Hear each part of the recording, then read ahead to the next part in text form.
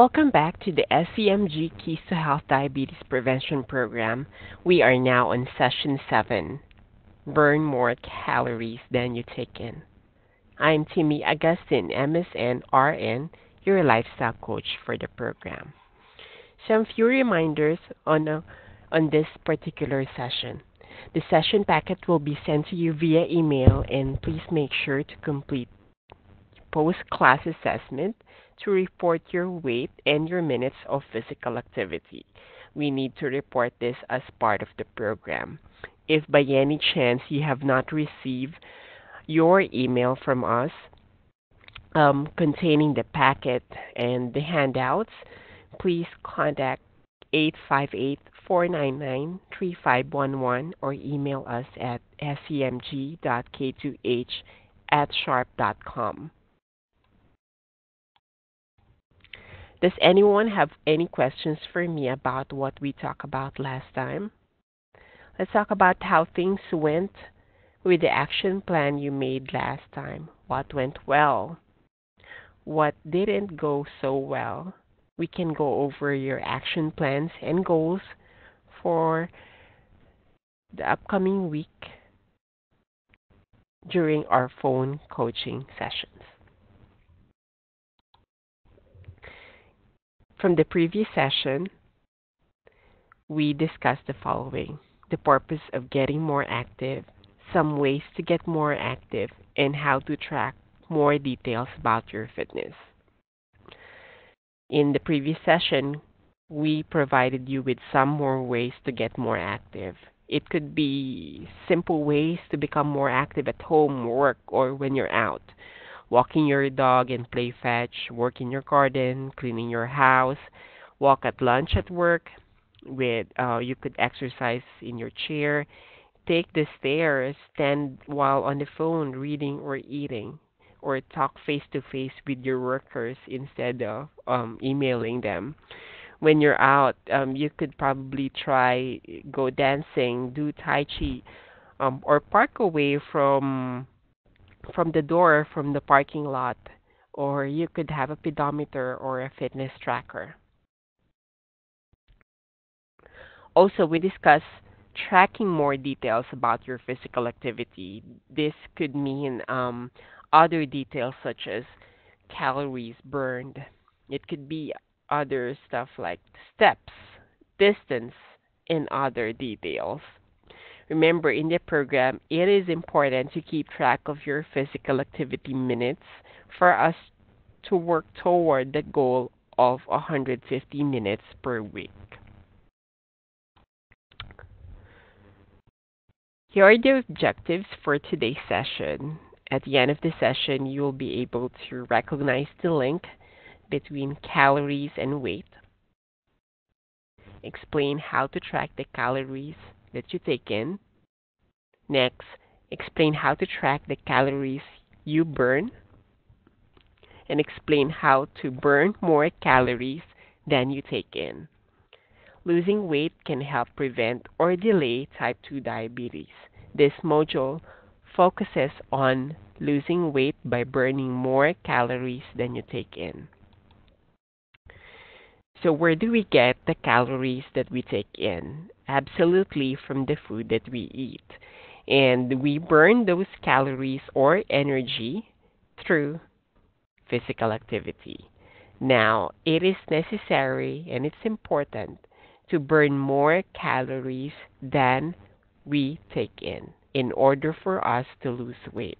And you have to tip the balance or the seesaw towards losing more calories than taking in more. Because if you, the seesaw is just balance, and then therefore you will not lose weight. Let's refer to the story of Paul in your participant handout on page 3. Paul is 47 years old and weighs 240 pounds. He is at risk for type 2 diabetes. His doctor urges him to lose 40 pounds at a rate of 1 pound per week. Losing 1 to 2 pounds a week is a healthy goal for most adults. as experts say. This gradual weight loss is the way to make lasting changes.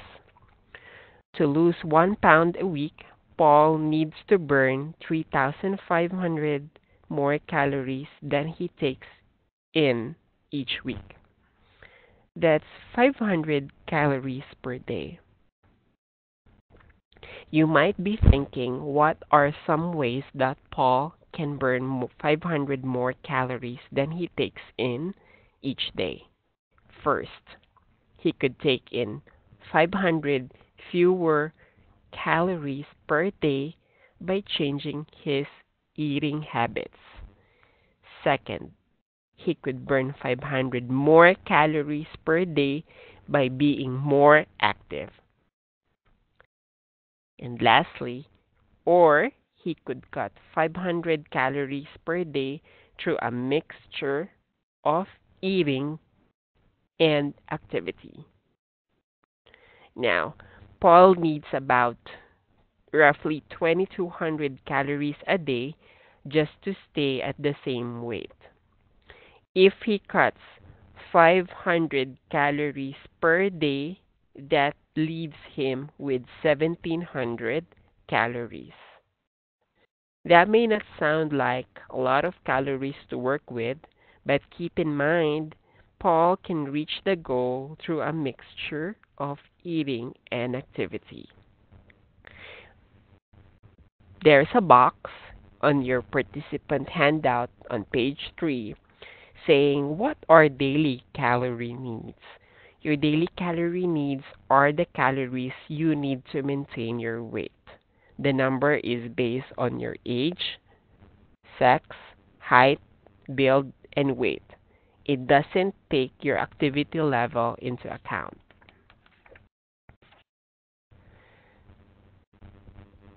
Now, looking more on Paul's story, let's see how Paul does on a Sunday.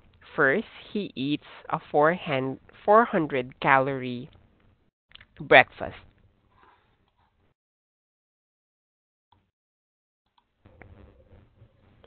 Then he takes a brisk walk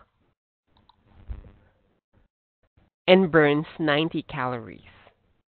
So you would see that these are Paul's needs 2200 per day in order for him to maintain weight. 1700 calories per day is Paul's goal because we decided to reduce 500 calories per day in order for us to lose 1 pound per week. Now, when Paul ate the 400 calories breakfast, it is on the calories in because that's intake. Now he takes a brisk walk for 90 calories. So the brisk walk is worth 90 calories. Now he decided to have a mid morning snack, which is worth 200 calories, and so on and so forth. And at the end of the day, he had a snack for 200 um, bedtime snack for 200 calories, and that totals to 2000 calories. However, that is the caloric intake. The calories out is at 310 calories only. Now, if you are looking at deducting 2000,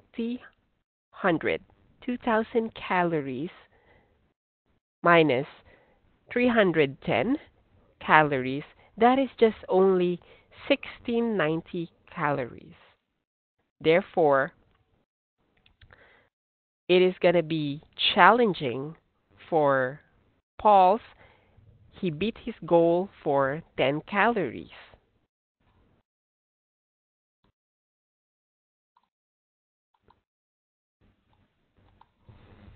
Let's see how Paul does on a Sunday. First, he eats a 400 calorie breakfast.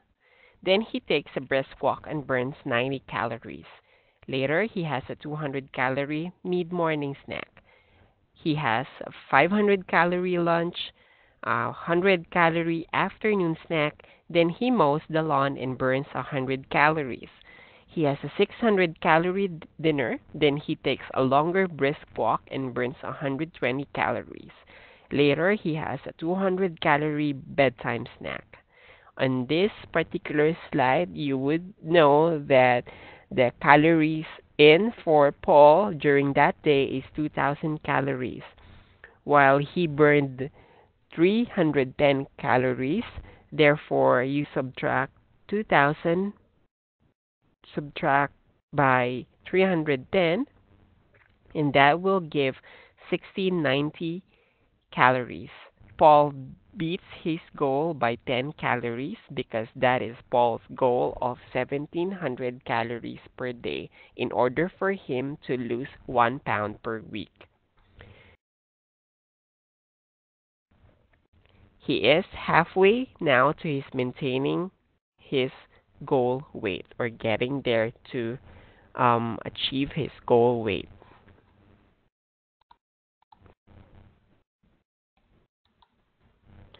There are some ways that Paul could approach to take in fewer calories. He could bake the chicken instead of frying it, drink water instead of soda or juice, have smaller portions, snack on carrot sticks instead of potato chips. So, in page 5 of your participant handbook, you could look at ways to eat fewer calories. Now, Again, looking at the principles of burning more calories than you take in, we now go to burning more calories. It could that Paul could be active for more time, go farther or faster, go up steeper hills, lift heavier weights, and take more steps per day. How to track the calories that you take in to figure out, um, you need to know two things what you actually ate and drink, and how much you did eat or drink to be able to keep track. Remember that we discussed ways to find calories in food, which include looking at the list of calories in common foods. You explored on food label reading, trying to examine and read nutrition facts labels. There are some online tools also, and using your smartphone or your computer app. On this slide, would look into ways to record your calories, probably include smartphone and computer apps, spiral notebook, a spreadsheet, and a voice recorder.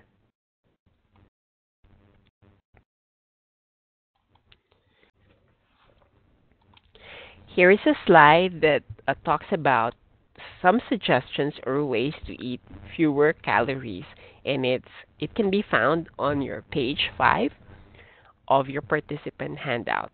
Some few suggestions for each meal, breakfast, lunch and dinner you could do a healthy swap. For example, during breakfast, instead of using your whole milk, you could use a, um, a fat-free milk version instead of a cup of whole milk, and that will save you 63 calories. At the end of the day, look at how much did you save, and therefore everything adds up. Another way to reduce your caloric intake is looking by um, strategies to rethink your drink. On page 8 to 10 will be some ways for you to look at to replace your drinks, your high calorie drinks with low calorie or no calorie drinks. For example, looking at fruit punch, in 20 ounce, there is 320 calories. If you have an intake of lesser volume, meaning 12 ounces instead of 20 ounces, you save 128 calories. If you have a regular cola, which is on a 20 ounce, average of 227 calories. If you take a smaller portion, that will be 136 calories, approximately saving you 91 calories. A lemonade, on the other hand, on a 20 ounce will be 280 calories. And if you go for a smaller portion, which is 12 ounces, it will save you at least 112 calories. Also, when you try to consider milk, milk contains vitamins and minerals and protein, but again, it also contains calories. Choosing low fat or fat free milk is a good way to, to cut your calories and still get the things that your body needs. For example, you might consider chocolate milk whole is 208 ounces in 8 ounce portion. Your plain milk, fat free, is only 90 calories in 8 ounces. So there is really a smaller calorie or ca- caloric value for each of the fat free versions. Experts say it's healthy to lose 1 to 2 pounds per week. Most people need to cut roughly 500 calories a day to lose 1 pound per week. Cutting the calories in your drinks can help you reach this goal. It makes sense to reduce your caloric intake from the drinks if you are fond of um, consuming soda or other forms of drinks that are high in calories. So, also, it is important to take a look at the nutrition facts label Again, we have learned this from the previous sessions that to take a look at how many servings per container in each of your drinks would contain and therefore also pay attention to the calories that it has. Here are some few suggestions to make better drink choices you could ask for your drink to be made with skim milk instead of whole milk. You might want to skip the whip or the whip whipped cream. Order a plain cup of coffee with skim milk. Maybe you could try to consider ordering the smallest size you can get. Here are some few more suggestions on your participant handout on page 13 ways to burn more calories. There is a table that shows you the activities and the calories burned in an hour and in a 30 minutes interval. And for example, take a look at hiking. If you hike for an hour, you you will probably burn roughly around 370 calories. In 30 minutes, if you did there for 30 minutes, that corresponds to 185 calories burned. If you did walking for an hour at a moderate pace, that was approximately 280 calories burned versus the 30 minutes which is around half of which is 140 calories. Stretching and weight training are also listed here. Some few things to try at home.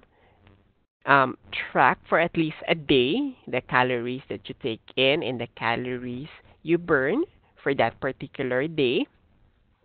And let me know how it works for you. We could discuss the details of what you have listed on your food log, and uh, we could look into strategies or other ways to help you to move forward with an action plan.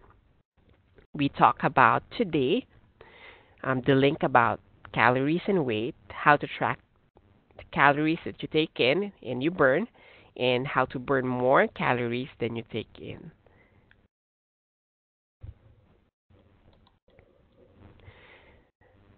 What are you looking to do for this upcoming week? As part of your action plan, keep in mind what worked and what didn't work well for you since the last session. Are there any changes you want to make? Remember, as part of our goal is for you to be active at least 150 minutes per week. What do you think of doing to be able to reach this goal? Remember to start something small and you could work on something more in the coming weeks. One way to cut calories is to think about what you drink. If you replace drinks that are high in calories with drinks that that have low or no calories, you can save approximately of 641 calories a day and you could find more information on page 8 of your handouts. Also, you might be thinking of what ways you could think to burn more calories. You could try some ideas on page 13 of your handouts. Let me know of what are your goals for this week. Where will you do it? When you will do it? For how long? And any challenges you think you might face? And what ways you could cope with these challenges? We just come to the end of this session, session 7 Burn more calories than you take in. Do not forget to keep track of your physical activity as we have learned in session 3. You deserve all of the credit and hard work you have done for this week. And also track your food intake as we have learned in session 5.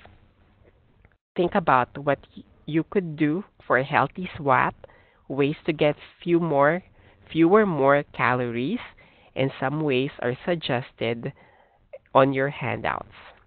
Again, thank you for participating in the webinar. Do not forget to complete the post-class assessment survey to report your weight and minutes of physical activity and answer some few questions related to this topic that we have discussed. I am Timmy Augustine, MSN RN, your lifestyle coach for the Keys to Health program. I will be giving you a call to check in with you weekly. For any questions or concerns, you could contact us at 858-499-3511 or email us at scmg.k2h at sharp.com.